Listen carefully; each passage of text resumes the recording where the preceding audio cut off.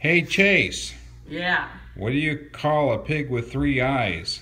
I don't know what. A pit ig. We got one, one laughing, one embarrassed.